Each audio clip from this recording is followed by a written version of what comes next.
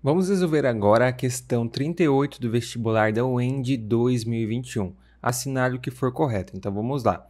Com os algarismos 0, 1, 2, 3, 4, 5 e 6, podem ser formados 24 números pares de dois algarismos distintos. Então a gente tem aqui um exercício de análise combinatória, onde a gente quer encontrar quantos números a gente pode formar com esses algarismos, sendo que são números de dois algarismos distintos. O que, que a gente tem então? Que os algarismos não podem se repetir e tem que ser números de dois algarismos. Ou seja, tem que ser 10, 12 e assim sucessivamente, tá? Não pode ser, por exemplo, 0, 1. Isso aqui tá errado, isso aqui não pode. Por quê? Porque isso aqui é um número de um algarismo, uma vez que é o número 1, certo? Portanto, a gente precisa do 10 em diante. Então, beleza, o que, que a gente vai fazer? Então, vamos fazer aqui a sentença 01. Se liga na dica. Primeiramente, a gente vai identificar quais são os números pares. A gente tem o 0, a gente tem o 2, a gente tem o 4 e a gente tem o 6. Então, os nossos valores, os nossos números, eles vão ter que terminar com um desses caras. Então, vamos começar com o 0.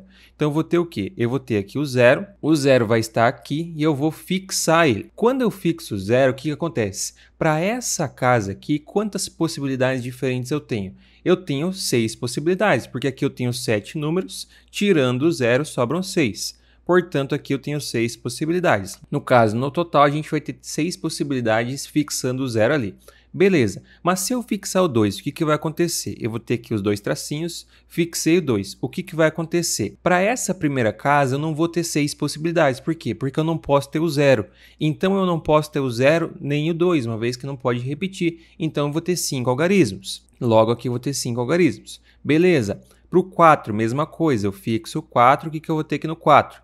Eu vou ter cinco algarismos. Beleza. E para o 6, mesma coisa. Eu fixo aqui o 6 fixando 6 aqui eu vou ter 5 algarismos. Então a quantidade total, o que, que vai ser a quantidade total? Se liga na dica, você só precisa somar. Então você vai ter 6 mais 5 daqui, mais 5 daqui, mais 5 daqui. Então mais 5, mais 5. 5 mais 5 mais 5, 15, com mais 6, 21. Então são 21 possibilidades. Aqui ele diz 24, portanto a 1 está incorreta. Beleza, então vamos para a sentença 2. Em uma competição entre oito equipes, as medalhas de ouro, prata e bronze podem ser distribuídas de 350 maneiras diferentes. Aqui a gente tem basicamente o exercício de arranjo, porque a ordem interfere? Aham. Uhum. Se eu tenho ABC, é diferente de BCA. Por quê? Porque é a ordem de colocação. Quando é ordem de colocação, aham, uhum, a ordem interfere, então é um arranjo. Sendo assim, eu vou ter a sentença 2. Logo, eu vou ter um arranjo de oito equipes que se agrupam 3 a 3, uma vez que são três posições.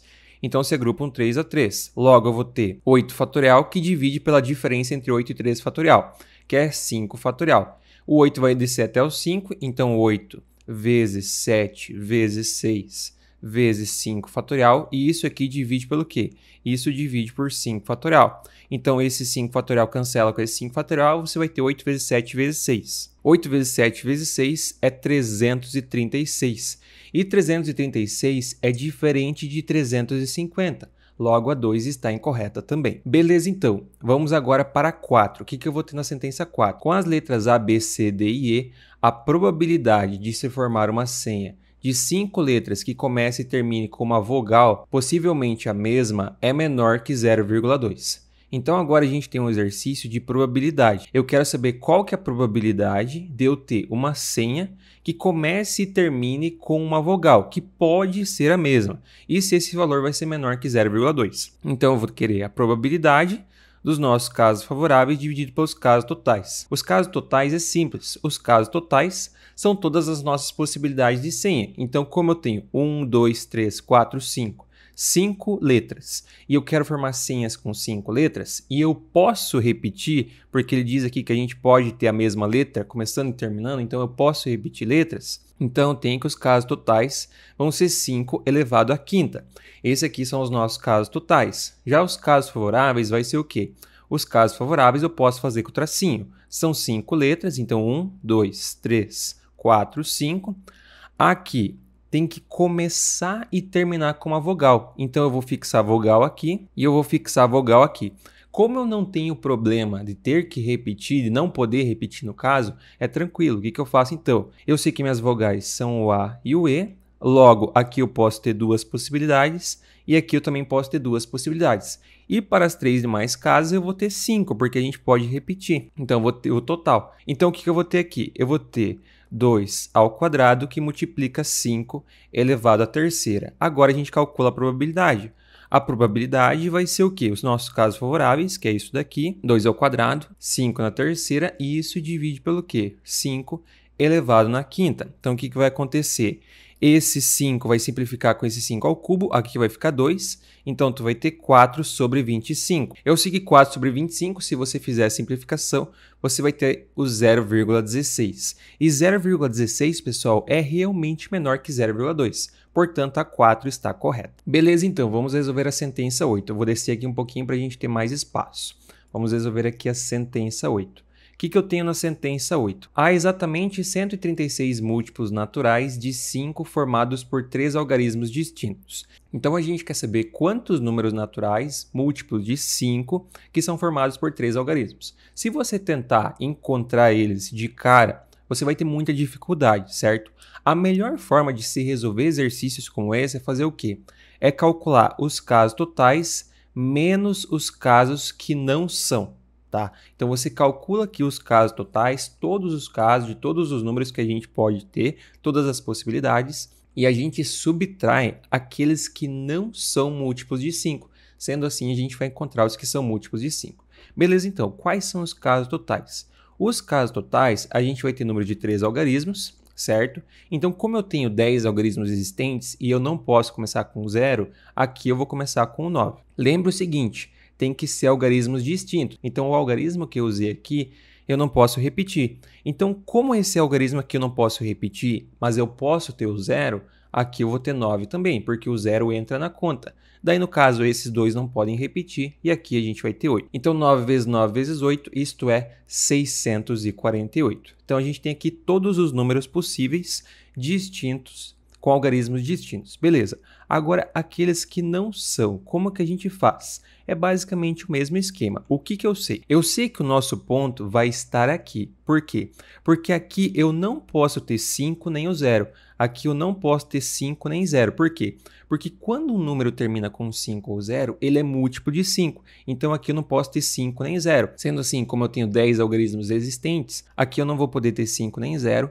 Eu vou ter então 8 possibilidades. Daí agora eu venho para a primeira casa. Na primeira casa, eu não posso repetir o número que está aqui. Então eu posso utilizar o 1 dos outros 10 existentes, certo? Só que o que, acontece? Aqui também não pode ir o 0. Então aqui eu vou ter 8 possibilidades. Porque eu não posso ter o 0 zero e nem o número que está aqui. Então, por exemplo, se aqui eu tiver 6, aqui eu não posso ter o 6 nem o 0, certo? Então, por isso aqui a gente tem 8 possibilidades.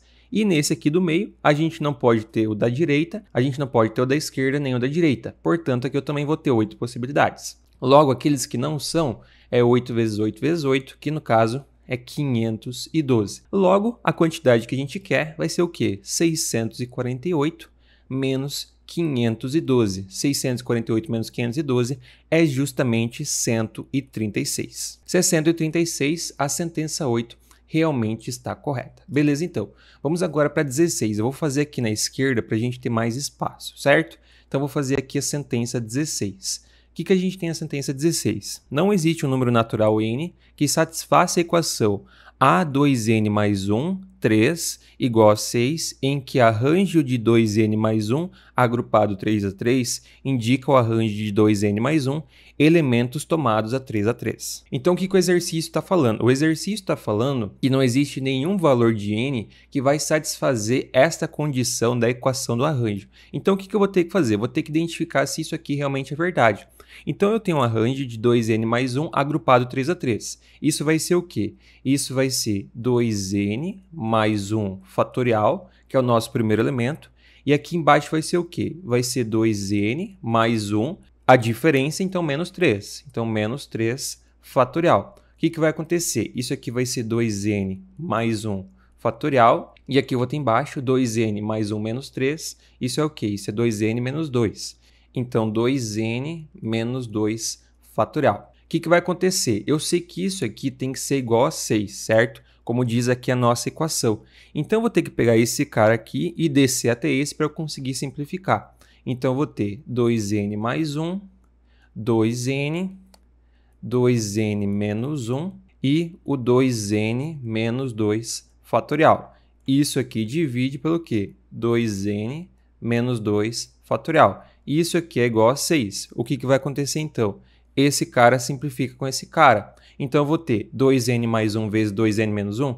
Esse cara e esse cara é o produto da soma pela diferença. Então vai ser o quadrado do primeiro, que é 4n ao quadrado, menos o segundo. Então, no caso, menos o segundo ao quadrado, que vai ser 1. Então, menos 1. Isso aqui multiplica por 2n. Isso aqui tem que ser igual a 6, certo? Então, aqui eu vou ter 4n ao quadrado vezes 2n. Isso vai ser 8n ao cubo. 4 menos 1 vezes 2n isso vai ser menos 2n. E aqui, menos 6 igual a zero. Passei o 6 para a esquerda, subtraindo. Então, o que, que acontece? Eu tenho que tentar identificar algum valor de n que satisfaça essa equação. Quando a gente tem uma equação de terceiro grau, quarto grau e assim por diante, o que, que a gente pode fazer? A gente sempre pode testar o n igual a 1. Se eu substituir n igual a 1, o que, que eu vou ter? Eu vou ter 8 vezes 1 menos 2 vezes 1 menos 6 igual a zero.